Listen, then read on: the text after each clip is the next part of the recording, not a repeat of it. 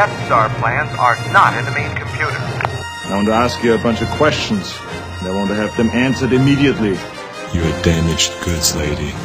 Fuck you. Holding her is dangerous. Word of this gets out, it could generate sympathy for the rebellion in the Senate. She'll give away our position any chance she gets. She's your baggage. You fall behind, and you're on your own. We're going to play a wonderful game called Who is My Daddy, and What Does He Do? To be or not to be? Not to be. that this boy is the offspring of Anakin Skywalker. Come on, don't bullshit me. You give me the names of your drug suppliers and distributors, and I'll tell the judge what a nice cooperative killer you are. One of us is in deep trouble. We lack discipline. It's time now to turn this mush into muscles. You're a fucking choir boy me. A choir boy.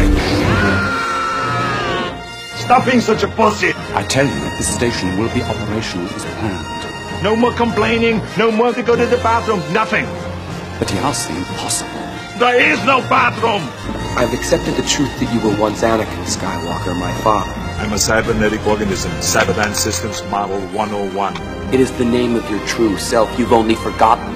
You cold-blooded bastard. I'll tell you what I think of it. I live to see you eat that contract.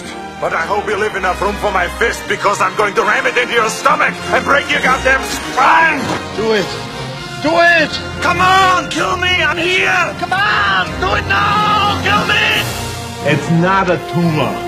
Not a tumor at all.